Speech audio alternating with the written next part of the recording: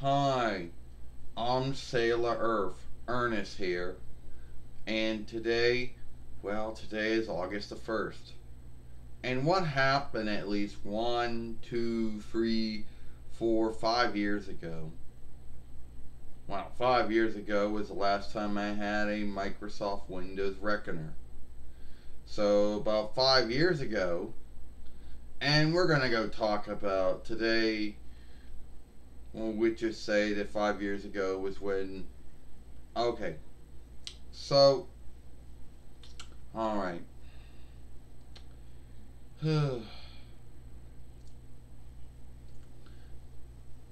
anyway, so five years ago, let's go back, because there was always mishaps with all the reckoners that we had. Either be the Compaq Presario, well, actually first it was the E-machines then it was a Compaq Presario. And both of those had Microsoft Windows XP on them. Well, the first Dell we got did. Um, yeah. And the other Dell we got also had, well, had Vista on it. And that for, and, it, and the first mishap that happened to it happened in October of, you know, 2014 YL. And then there was the other Dell that was a laptop. It had Microsoft Windows 7 on it. And finally went to the laptop with the the laptop with the Acer that had Microsoft Windows 8.1. Every time I would get one, I'd be at the cutoff time of all those windows. And the Acer one was the one that had all the hangups. Two months after getting into it by December, there was power washing going on. Then by February, had a power, you had to power wash it again. And then everything was good and up until that August. And then after another round of power washing, it didn't work. So then led to the uh, Gateway desktop of Microsoft Windows 10 that I was borrowing between from August of 2015 YL until November 2015 YL, which led to the LG, you know, the LG de- uh, desktop with Google Chrome OS on it. And that lasted for about five years until Google pulled out with the updates which ended up going to the HP Reckoner with Microsoft Windows 10 again. So you see, but it was five years ago since that happened. And five years ago, August started on a Saturday. So, anyway, I don't know, I just have these thoughts about, you know, but anyway, so the first thing I want to say is is that there might be some folks out there who might wonder, is that what the film was about? Yeah, it was just one little chunk. So, you have the YouTube editor or YouTube shifter. And it's supposed to be YouTube's take on the ArcSoft and the Microsoft and the Sony and the Apple and the Mackie Cam and you know and the Final Cut and all those other the last cut and all those other film shifting tools out there. Well, it is as shitty as all the other ones. You know, some folks have skilled it and they can come on and they can make a end film sheet and tell everybody, well, if you're like this, go follow me here or watch some of these films over here. Well, that's not going to work for me. Then you can, uh, then, you know, some folks can skill it and they can pick a likeness, you know, like for their fair fairway, fairway, and like you know, follow me here. Well, that doesn't work for me. I seek that once, and YouTube kept telling me, oh, it was too small, too big, too small. So none of those tools actually work. And I wasn't going to keep on fucking around with tools that I didn't to get them to work.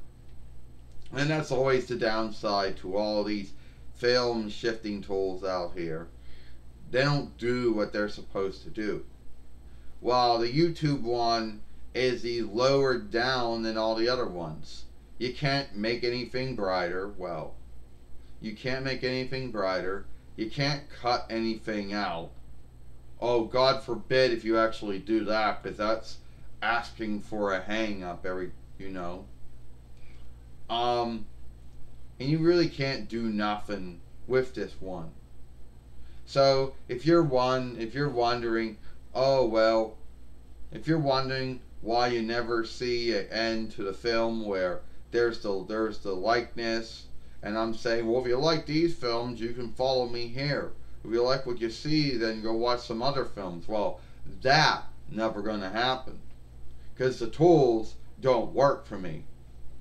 You know, they don't. They're the. It, it just it it just starts running a film, and there's nothing that tells you what nothing does. And I'm not gonna go fuck up a film just to learn how that works. And we know that these films don't always work. The, these tools don't work the way they're supposed to work. I wanted to make some kind of likeness, you know, with oh follow me here, but every time I seek to put on the likeness, YouTube kept saying it was too small, too big. You know? And I bet you if I even wanted to film a little end sheet, I guess they call it.